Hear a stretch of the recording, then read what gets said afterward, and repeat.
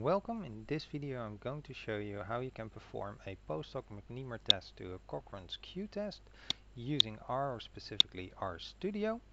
Uh, in a previous video I've shown you how you can perform the Cochran's Q-test in itself um, with some various different versions. Then the post hoc Dunn test which is an alternative to the McNemar uh, post hoc. Um, note that the McNemar post hoc test is actually also a Cochran's uh, post hoc. Uh, they're the same uh, depending on your settings. So if I'm not mistaken, it would be the same as a uh, chi-square uh, approximate uh, version with no continuity correction. Now to show you how this works, I first need some data, so I'm going to be loading that in by pressing Ctrl Enter on this one. Uh, my data is, as you can see, 150 observations long and it shows the respondent's ID uh, and four movie cinemas in Amsterdam, Munt Movies, Tuschinski and Arena. A 1 indicates that the person visited that specific cinema and a 0 that he or she didn't. This is all fake data by the way. So let's go to uh, the commands. The first thing we need to do is reshape this data into a long format. So use the reshape command and then my data varying. Then the variables vnames I use score for that. Um, then a time variable uh, which in this case would be cinema uh, times as a vector uh, add some new row names uh, might be useful and direction to set to long. Now it's easiest to show you what this will do so I'm gonna run this command and then show you the my data long and then sort by respondent ID oh. and as you can see now for each respondent I have four entries uh, each of the cinemas and then his or her score so this first person didn't visit any of the four cinemas which if we look at the original is these four the second person only visited arena so in the long version use the 00014 arena. So that's a long format. Now we go back to actually performing the test. Uh, the McNemar post hoc test can be done using an exact binomial distribution.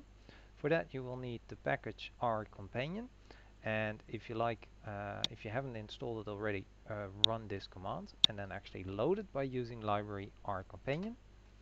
And then you can use the pairwise McNemar and then set the X, uh, the G, uh, the block, in this case the respondent, and then as a method I'll be using for adjustment bond Bonferroni, and I'm going to be using an exact test.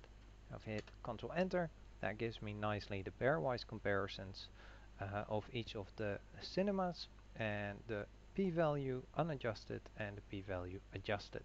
So in this case movies and Munt seems to be significant. If significant is considered below 0.05 and Arena and Munt are significantly uh, differently um, visited.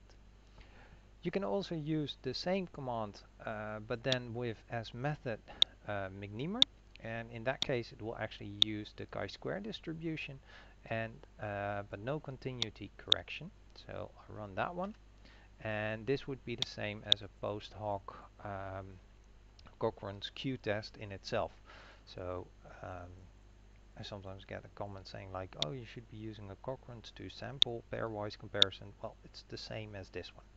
As you can see, the results are slightly different than before. So, uh, but still the final conclusion is the same. Only movies and Munt and Arena and Munt are significantly different from each other. Now, you if your heart is really set on using a chi-square distribution with the continuity correction, then you can use the uh, package stats. Um, I already installed it once, so I won't be running this command, but I will be running this one.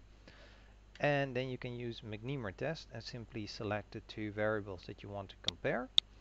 And that will actually give you the results, uh, the chi-square value, degrees of freedom as 1, and then the p-value this is an unadjusted one, so if you want to adjust that using the Bonferroni adjustment, you need to know how many pairwise comparisons you'll be doing, which you can use choose. Then the number of variables, uh, in this case four. Uh, I have five variables in my data, but the first one is uh, the respondent ID, so that's why there's a minus one here. And then I'm going to be choosing two. So that should give me 6. As you can see here in the global environment, indeed it's 6.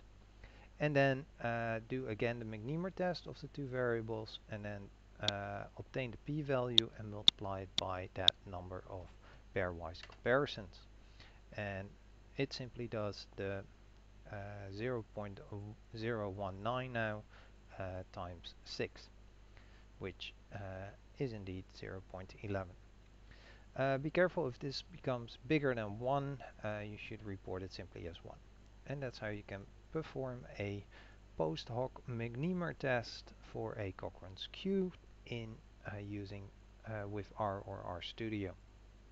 Thank you for watching.